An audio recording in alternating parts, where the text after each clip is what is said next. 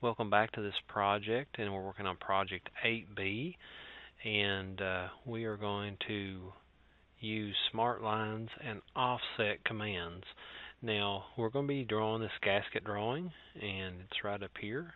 I'll click on it, take a look at it and you've probably seen this in the past. We've drawn it several times. And we're going to draw it again using MicroStation. So to throw this over here and put this one in here as well. And uh, I'm going to go in here and do a new file. Now this is standard inches, uh, so just new file, and I'll just call it CAD 298 gasket and save. So it's going to load up here, and we'll get ready to draw this. Now, um, most of uh, you students have had my class in AutoCAD and you remember polylines compared to a line. Now a polyline, it was when you clicked on one little segment, the whole thing lit up. It was all connected together and joined together. And uh, in this, we'll see that is what they consider a smart line in uh, MicroStation.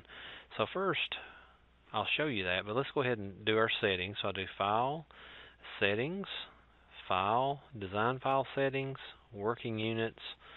This one's going to be Master Units in inches, and then OK on that. The rest of everything should be fine. Save Settings. We're ready to draw this. Now, um, whenever we do a uh, line, here's a regular line. And come around like that.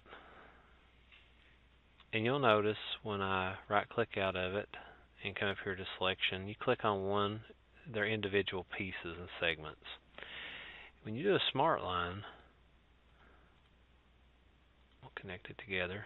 Come back up here and hit selection.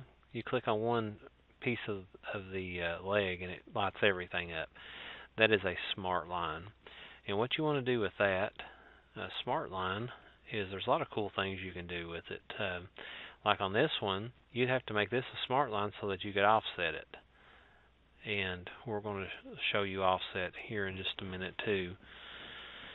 But uh, let me go in here and we'll start drawing this thing up. And I want to show you a couple other things to this. Now, again, a smart line, it's all one piece. Now, if you remember back in AutoCAD, you could use explode to explode the pieces. In here, it's called drop elements. Over here in groups, it's called drop. Do you see that? The little light bulb. Click on that. Make sure your line strings and shapes is on there. Come over here and click on it. And do y'all see now how that, that exploded it? So drop element is the same thing as what you're used to in, with explode. Now, if you want to tie this back together as a smart line, just like a polyline, just come over here to groups, and you've got what's called a create complex chain. And just use the manual method. It means you're going to click them manually here, just like that. Right click. It should have got it. Let's go up here to element selection. It's only got those two, so I missed the third one. So again, come in here and grab all of them. There we go and now it looked like it did it. When I go to element selection, it grabbed them all. And again, if you want to get rid of that, you want to bust up into segments, just drop, and they're exploded. So basically, let's draw this thing up. And I'm going to go up here to Smart Line. And I want to take off from here and come over one inch and then just get what I can get done. So let's click on here, just uh, I'll take off zero, zero, click. So there's my zero, zero. And I'm going to now come over one, click. I always put your left hand on the mouse, or on the uh, keyboard, and the right hand on the mouse, and that way it's easier. Just type it in, and then 7 minus 1 will be 6, click. As far as I can go right now because um, I don't know where this ended. It just ties in tangent. Right click, go back to my smart line. There's that one inch piece, and at that end point, I want to come up, looks like 4.5 minus 2 be 2.5. Click. Come over 1. Click. Up 2. Click. Looks like a straight line that comes all the way over to 7.5. Click. And at this point, I want to put this, this is the center point right here, boom, center point for this uh, circle, which is a radius of 1.5. So come up here, place circle, center, diameter 1.5, click, and that's not right. So 1.5, hit enter. Oh wait, I've got on diameter, radius, now enter.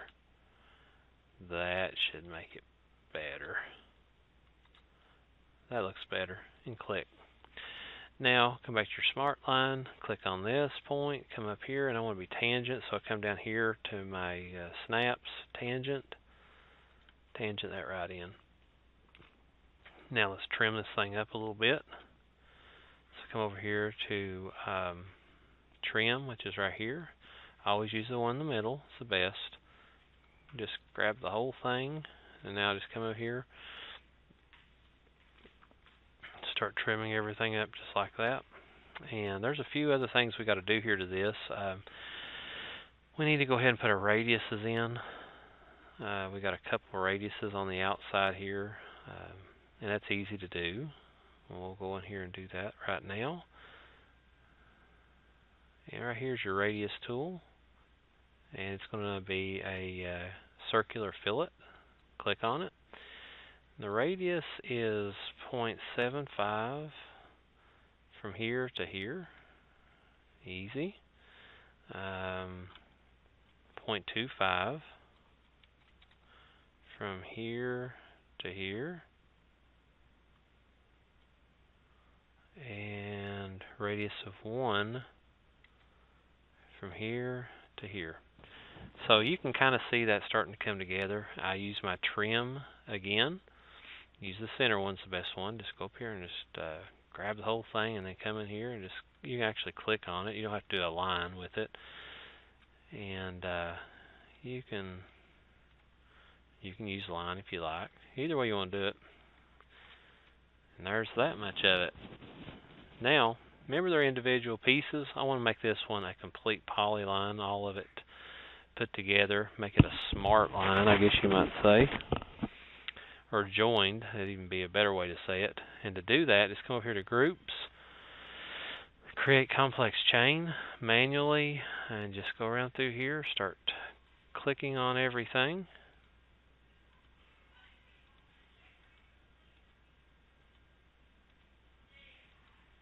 Enter. Okay, right click to enter. Click on your selection. When you choose it, it also be chosen, so it's sweet. Now let's go in here and let's do us an offset on this thing. And it's wanting a uh, half inch offset. So we're just going to blow it up a little bit, make it easier to see. So now let's do an offset on it. And to do an offset, we have an offset tool. It's right here, manipulate here's uh, move parallel. This is the same as offset, so click on it.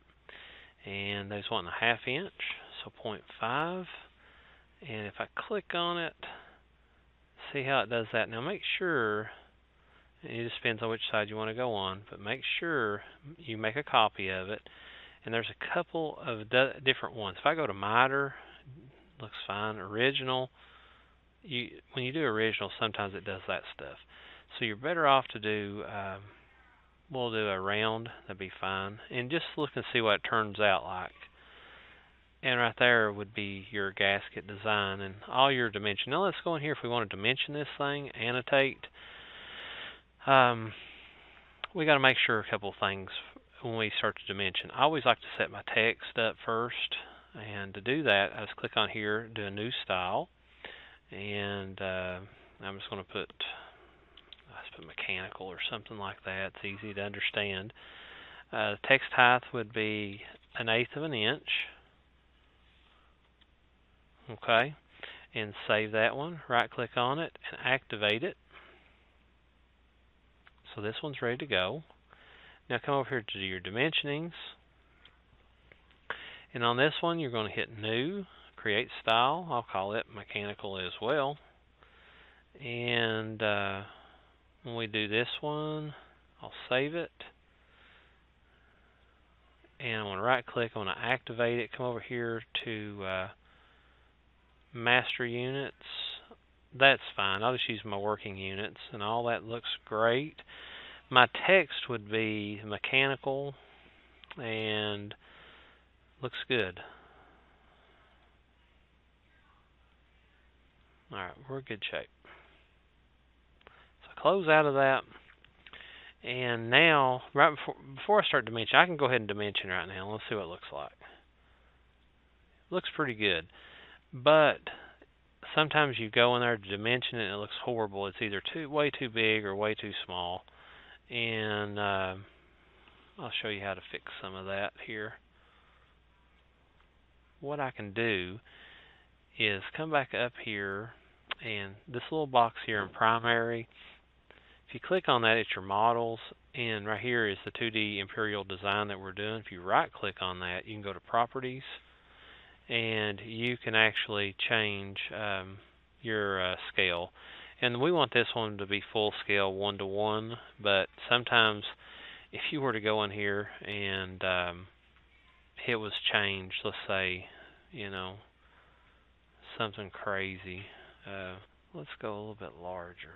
Let's do like a 132nd to 1. And now you went here to annotate. You clicked on it, and you get something that looks like that. That's what I'm saying. Just make sure that you always go back in there and look at your properties here. When you go in here, click on that model, go to properties, and make sure that you've got the right scale for your drawing that you're going to use. And we decided to do full scale on this one. Looks the best. And now you'll notice my dimensions. They look really good. So just make sure that uh, make sure that you uh, you get this um, drawed out and check your dimensions. Go all the way through it and make sure all of your dimensions look good. And you can use this right there, that dimension element. It's a really good tool to use. Um, you can grab that and pull it. It's, it's a little bit faster, but some of this you're going to have to use like your linear to be able to grab this to this uh, also, going to hit linear again. There to there, bring it down, click it. There to there, click it. I don't need this one.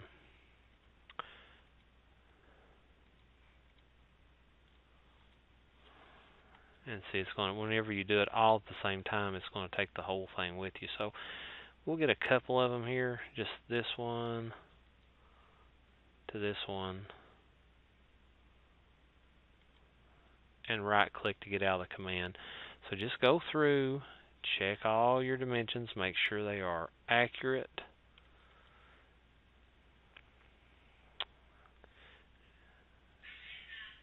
We got one more right here from here to here